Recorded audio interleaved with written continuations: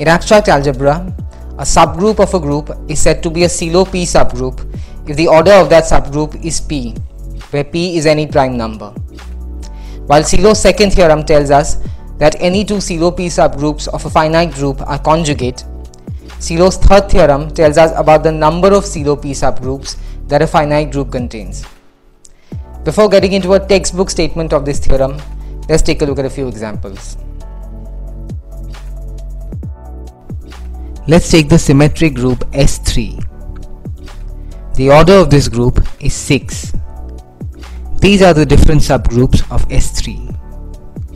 There are 3 subgroups of prime order 2 and 1 subgroup of prime order 3.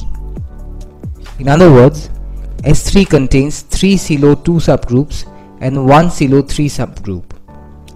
Let's break it down even further.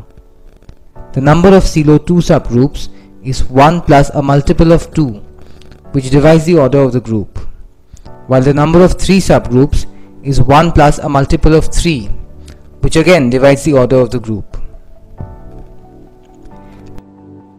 Let's take another example the group of integers modulo 12. Here's a list of all the subgroups of this group. This group contains one subgroup of prime order 2 and one subgroup of prime order 3. In other words, this group contains one Sylow 2 subgroup and one Sylow 3 subgroup. So the number of Sylow 3 subgroups is 1 plus a multiple of 3 which divides the order of the group while the number of Sylow 2 subgroups is 1 plus a multiple of 2 which again divides the order of the group. And well, this is exactly what Sylow's third theorem is all about.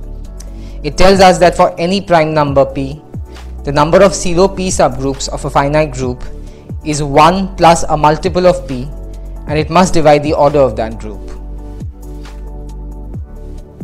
If a group contains a normal subgroup of any prime order, say p, then the number of Sylow p subgroups of that group must be exactly 1 Similarly, if a group contains exactly one Sylow P subgroup for any prime number P, then that subgroup must be a normal subgroup of the given group.